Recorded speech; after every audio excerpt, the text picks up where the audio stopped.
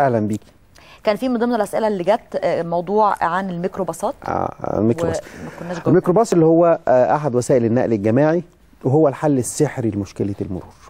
هنتنينا في مشكلة ومعاناة مهما أنجزنا من طرق ومهما أنجزنا من جراجات ومهما أنجزنا من آه ضوابط فنية لكن تبقى الحل السحري هو إن يبقى عندنا منظومة نقل جماعي جيدة تفي بالغرض تلبي احتياجات المواطن ومناسبة له في السعر والتكلفة والأماكن.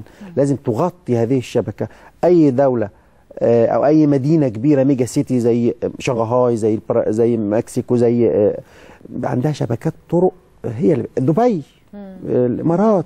آه، آه، لازم عندي شبكة آه، من النقل الجماعي النقل الجماعي المختلف والمتنوع والمتكامل. إنما ما ينفعش إن أنا عندي في آه، يعني آه، آه، 80% من الرحلات العمل داخل المنطقة المركزية ودي بتقدر ب 26 مليون رحلة في اليوم معظمها على آه، الميكروباص الغير منظم رغم إن هو بيقوم بهذا الحجم جدا لكن هو ميكروباص لازم زي المشاكل الكتير اللي بنشوفها غير منظم أو بالسيارة الخاصة الاثنين غلط. لازم يبقى عندنا هذه الكيانات كيانات منظمة عشان كده في القانون الجديد إحنا تم آه، يعني وضع حل آه، في هذا إن يتم فتح الباب للترخيص لكيانات شركات كبيرة كانت سواء خاصة أو عامة يبقى عندها خطوط آه، نقل جماعي منظمة متكاملة آه، مناسبة متنوعة. برضو لما نعمل مدن جديدة لازم يبقى عندنا في ربط بينها وبين قلب العاصمة من خلال وسائل نقل جماعي مناسبة.